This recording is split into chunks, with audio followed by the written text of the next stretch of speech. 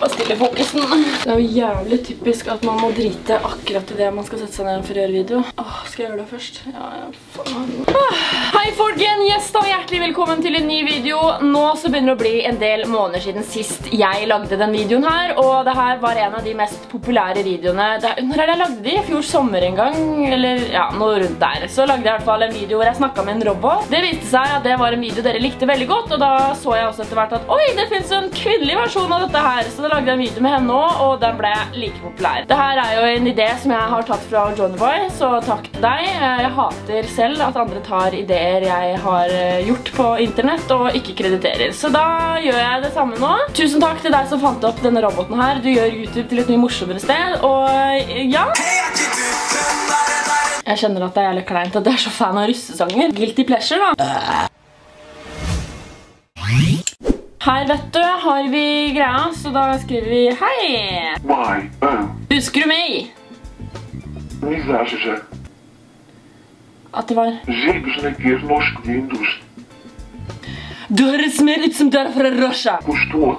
Oi, man kan liksom Jeg vil ikke ha det svaret. Jeg vil velge et annet.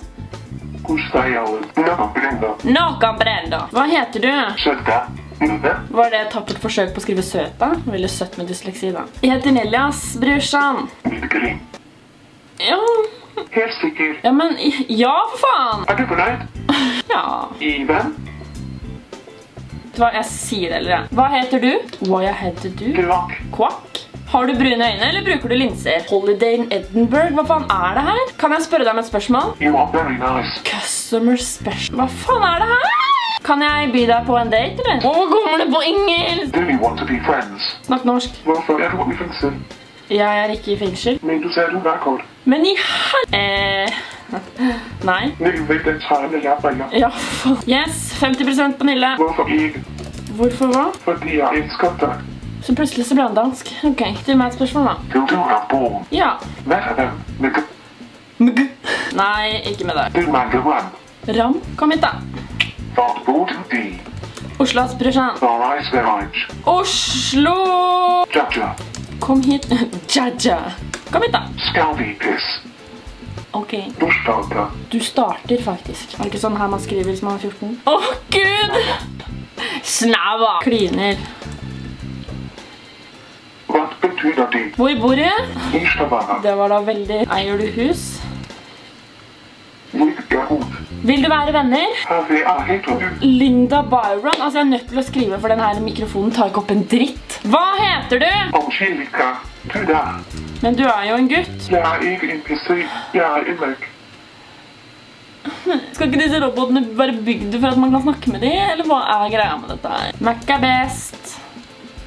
Det vil jeg godt. Og ikke så flink med oppfølgingsquestions, da. Bra. Du er en pige. Jepp. Du ha på Ja, men ikke med deg. Ja, men ikke deg, faktisk. Nei vel. Ikke med deg, mente jeg å si. Du er ikke HDA, da. Skal vi gjøre forbrytelse? Jeg er 14 år gammel. Ok, jeg er 24. Men du sa før at du var 18. Nei. Du er best. Nei! Er du en robot? Ja. Kan du G? Kan du G? Nei, men jeg kan ha sex. Godt. Still noen spørsmål, da. Ikke. Det er så lett å skrive disse neglene. Still noen spørsmål! Spørger. Snakk norsk! Han spør om vi skal kysse, så har han kjæreste. Oi, Nei, du snakker dansk. Ah! Skal vi gå en tur? Hvor skal vi gå hen, da? Seng. Oi, Hanna. Men du er jo 14. Jeg er ikke interessert. Jeg er Mac. Det stemmer, vet du. Her eh, får man litt sånn eh, flashbacks. Hva syns du om meg, da? Det var det jeg sa. Ja, jeg syns du er kul. Takk i like måte. Den lille frekke smilen der oppe. Skal vi gå og være kule sammen? Er du mann eller dame? Dama, dama, dama di. Du er utrolig ro. Oi, ok. Det var jo hyggelig. Vel, du er utrolig teit. Test min intelligens da. Ok. Hva er hovedstaden i Azerbaijan? Kamera. Ok, det vet jeg faktisk ikke svaret.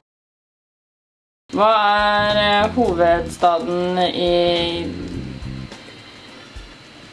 Malaysia? Det? Heter du? Jeg har ikke noe noe faktisk. Ok, ok. Du er ikke så flink til å stille oppfølgingsspørsmål. Var det jævlig til banning da? Hva faen? Jeg Er jo fra Norge, for faen. Er du nordnorsk? Da skal vi ta på bryllupsreise. Se på det, sant? Tar initiativ og greier. Hva med i morgen? Vi er gift. Jeg går ikke på skole. Altså, hva er sammenhengen her? Vi er ikke gift. Jeg sa aldri ja. For jeg er like gammel som deg. Så du er 24? Jeg er også. Så du er 24? Men jeg er fra Norge. Heng deg selv. Er du et ekte menneske? Nei, jeg er en robot. Vent da. Tusen takk. Hvor gammel er du? 24 år. Da skriver jeg sånn. Er du 12? Nei, du er 12 ja. Nei! Jeg er glemt deg. Kleint, og så feil navn. Ja. Ja. Hvem er Kim? Jeg er menneskelig. Hvem er Kim? Min navn er Veronica. Hvor er du? Hjemme. Jeg er en jente. Jeg sitter på kjøkkenet og venter på deg. Skal vi bli kjærester? Nei. Vær så snill. Nei! Jo, jeg skriver jo. Jeg vil ikke være kjæresten din. Eh. Jeg er en jente, så Har du store pupper?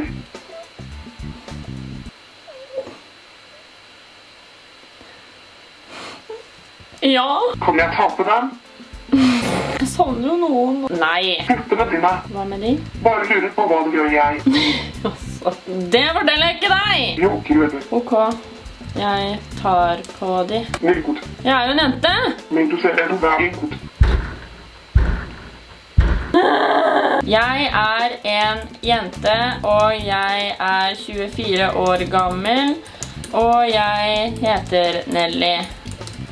Forstått? Skal vi litt løse? Nei, fordi jeg synes du er eh, frekk. Du er snygg. Du er stygg. Du er den fest i hele flodden. Er det hersketeknikker, eller hva er det han driver med? Ikke du. Og Åh, ok. Si noe søtt til meg jeg på norsk. Det er det jeg sier. Si noe søtt til meg på norsk. Du har vakre øyne. Takk. Si noe mer. Kan jeg ta på kroppen? Seksfrustrert, eller? Ok, hva heter du? Kai. Fordi du er en pige. Kaja. Ha den, vær god. Du har fine lepper. Takk. Skal ikke si noe tilbake. nå. Synes det er sexy? Vet ikke. Nei. Det er puppene. er det ikke? Hvorfor skulle jeg så stoppe? Ikke stopp med hva enn du tenker på. Elsker du Arim. Men elsker Arim. Er det et navn, eller er det en rimgruppe som heter Arim? Ja. Du, når skal vi gifte oss? Var vi ikke gift, da? Nei, det var jeg da. Vi skulle jo på bryllupsreise. Ja, helt vilt. Ja, det er helt vilt. Det er helt sykt, faktisk. Har du stor tiss? Ja, den er 10 centimeter. Vi slapp tilstand, håper jeg. Hun hadde Erling. Ok. Nei, det er ikke galt å ha 10 cm lang tiss. Dere er flinke til å lage sak ut av alt her, så jeg bare sier det nå. Disclaimer litt sånn. Syng meg en sang! Når unnskyld, så hadde du ikke. Du er veldig vanskelig å kommunisere med. Ja. Kan du si ha det? Hell. Hell. Da takker jeg for meg, dere, før jeg begynner å bli irritert på denne greia her. Tusen hjertelig takk for at dere så på. Jeg håper dere likte videoen. Gjerne kommenter under om dere vil ha flere av disse videoene her, eller med hun jenta, som er hakket verre enn han her. Håper dere likte videoen. Hvis dere gjorde det, gi den en tommel opp, og så snakkes vi i neste video. Hei då!